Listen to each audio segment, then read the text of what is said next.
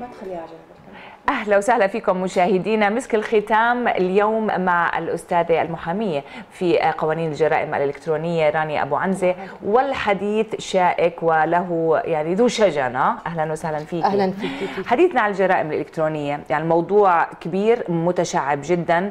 حابين نعرف بالعموم بداية ما هي التعديلات؟ ثم ندخل أكثر ونتخصص أكثر في ما يتعلق بحرية الصحافي والإعلامي ضمن هذه القوانين. هلا في توجه حكومي لتعديل هذا القانون أو إلغاء إحدى مواد هذا القانون نعم. أو صياغتها بطريقة أخرى بت يعني طريقة أخرى خصوصا المادة 11 اللي صار في فترة عليها نقاش والنشطاء بلشوا إنه ما بدنا هاي المادة الغاء بتوجهوا إلى إلغاء هذه المادة لأنها تتعارض مع الدستور ومع حرية الدستور اللي هو كفل تذكري تذكري نص المادة مش بالضرورة يعني حرفيا ولكن حتى المشاهد يبقى يعني معنا اليوم مادة 11 جرائم إلكترونية هاي المادة عليها كثير صار نقاط وحديث كثير إنه هي عم بتقيد أو بت كأنه كأنك تضعين فوه يعني أي شيء في فم المواطن نعم. إنه يعني تغلقي أفواهها أفواه من خلال هذه بالضبط فصار في حديث على هاي هاي المادة وكثير في نشطاء بيطالبوا في توجه بالشارع كمان والمؤسسات المدنية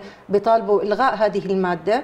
وهناك توجه حكومي لإلغائها أو لصياغتها بطريقة تكون أقل حدة. حدة. من وجهة نظرك هل هي في الفعل منصفة ولا بالفعل ستقود؟ وخاصة يعني ستقيد إن احببتي قلم الصحافي الكاتب المسؤول اليوم وصوت الإعلامي أو المؤدي أيضا المسؤول. نحن لا نريد ابدا أن نثير فتن لا سمح الله ولا بدنا بطولات ولا نحن أيضا وراء بروباغندات وسبق.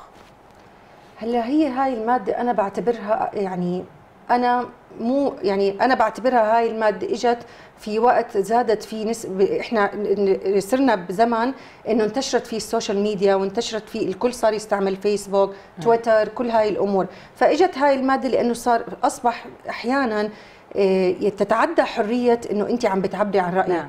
أصبحت الحرية إنه حريتك تنتهي عند هذا لا أحد على لا أحد يختلف عليه ولكن اليوم بالتطبيق للأسف وبذريعة هذه المادة أو هذا النص تحديدا يعني بيروح الطالح بالصالح يعني إن أحببتي. وكثير من الأحيان النصوص مطاطة يعني تكون على أهواء أو أمزجة من يريد الشكوى. هلا يعني شو بضمن لي أنا اليوم؟ نعم يجب تعديله أو صياغته بطريقة إنه لا إنه لا يصبح ابتزاز للطرف الآخر برفع هاي الشكوى نعم.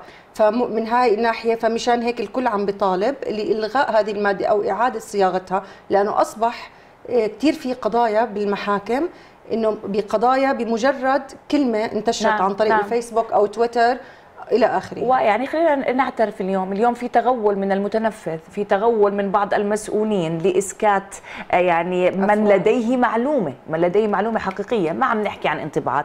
خلينا نستمزج رأي الأستاذ خالد لقضاء عضو في نقابة الصحفيين. أهلا وسهلا بحضرتك. أنت مع أو ضد آه إلغاء المادة 11 من القانون الجديد؟ طبعا إحنا إحنا ضد آه ضد أي واحد آه يعني بحس إنه حيكون له تدخل في حريه التعبير فإحنا هاي المادة هي قيد على حريه التعبير. نعم. قيد وقيد قاطع لحريه التعبير لأنه هذا القانون بالأصل م. وجد لأمن المعلومات. صح. شو علاقة حريه التعبير بالقانون الجرائم الإلكتروني؟ مزبوط. واحد سرق بيانات واحد دخل على بيانات واحد واحد. هذا القانون وجد في هذه الحالة فقط. نعم. لما دخل في هذه المادة راح على حرية التعبير فما في عندك قانون في عندك قوانين ثانية ناظمة. نعم. هل المشرع اليوم أستاذ أستاذ خالد لأنه يعني معنا الوقت محدود جدا. هل المشرع اليوم لما أقر هذه المادة تحديدا يعني وضع في نصب عينيه للأسف يعني حماية الفاسد أو المتغول؟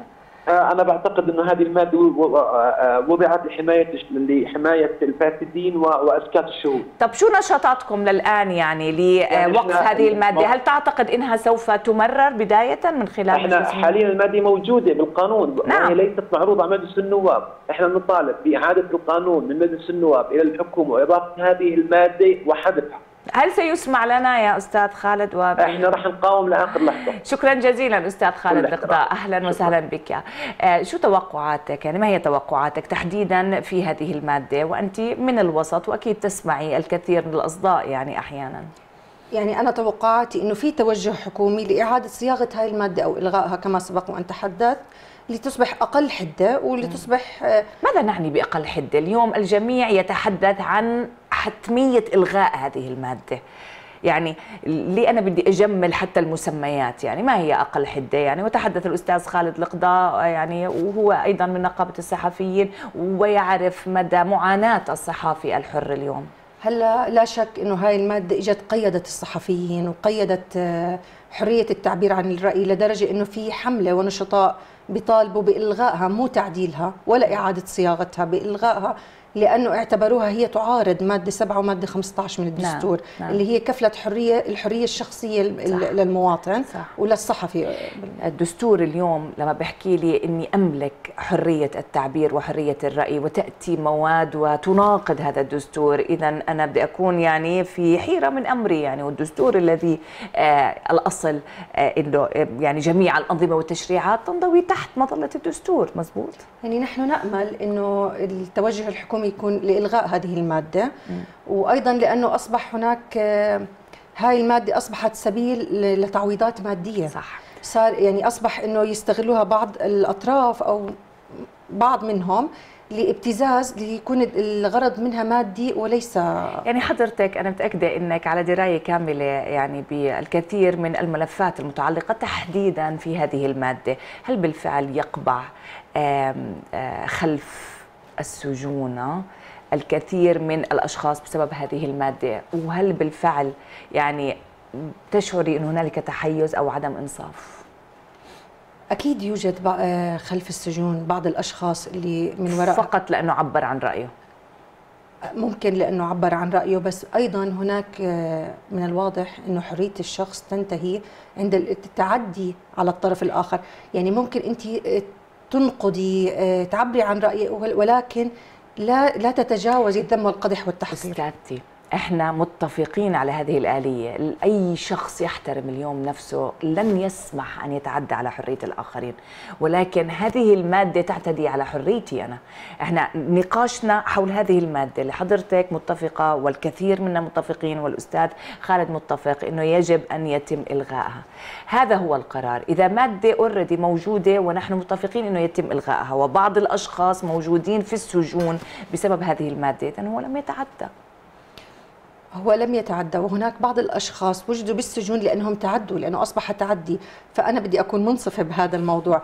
وطا يعني إحنا بنطالب كنشطاء أو النشطاء بالشارع بيطالبوا إنه بإلغاء هذه المادة. نعم.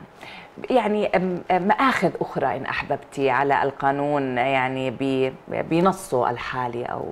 أنا أحترم هذا القانون. تحترمي هذا القانون. أنا أحترم جدا هذا القانون ولكن أطالب ببعض التعديلات وبإلغاء وبإعطاء الصحفيين حرية للتعبير عن الرأي وإعطاء المواطن أيضا الحرية التعبير عن الرأي اللي هو الدستور اللي كفلها لنا. نعم ولكن يجب أن تكون هنالك ضوابط ومن وجهة نعم. نظرك الكثير من هذه النصوص تضبط بالفعل يعني ما ما ما يجب أو ما يسمح به وما لا يسمح به نعم. من وجهة نظرك أيضا هل بالفعل هذا القانون أن هنالك حبس وهنالك غرامات مادية أو كلتا العقوبتين أو كلتا العقوبتين فنوضح هذه الجزئية أيضا أكثر يعني يعني تختلف طبعا حسب الحالة. بيرجع تقديرها نعم. للقاضي. لا أنا يعني حسب يمكن اليوم آه، هيك متعاطفين أكثر مع أنفسنا ومع الصحفيين يعني. فلهذا السبب خصصنا هاي العشر دقائق أنا أتعاطف مع الصحفيين بهذه بهذه المادة ولكن لا أتعاطف مع بعض المواطنين اللي في عندنا جرائم كثير تعدوا فيها على حرية الآخرين خصوصا أحيانا بتعدوا على على سبيل المثال على نواب.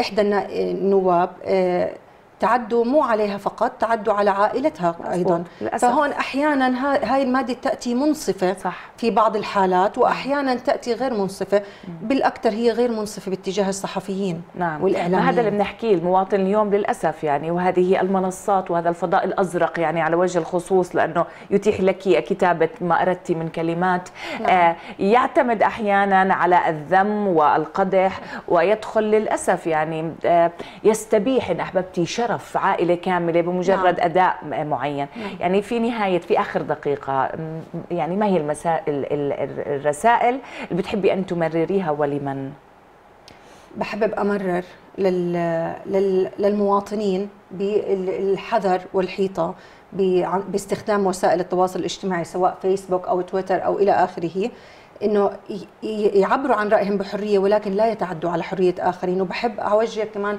إنه يصير دور عندنا بالمدارس صح. ودور عندنا بال بال بالإعلام بتوعية الشعب بما معنى ما معنى الجريمة الإلكترونية وكيفية استخدام مواقع التواصل الاجتماعي بدي أشكرك. شكرا جزيلا لحضرتك. اذا يعني هذا هذه المقولة اللي طالما رددناها إنه تنتهي آه، حريتك. عندما تنتهي حرية الآخرين نعم. يجب بالفعل أن تكون هيك داخل. وأنا متأكدة إنها موجودة آه، عند كل إنسان ضميره حي. للأسف انتهت حلقتنا حلقة نهاية الأسبوع. من برنامجكم الصباحي على الريق ودائما مع هنا الأعرج. لقاء جديد يتجدد مع حضراتكم يوم الأحد نفس المكان ونفس الزمان. في أمان الله.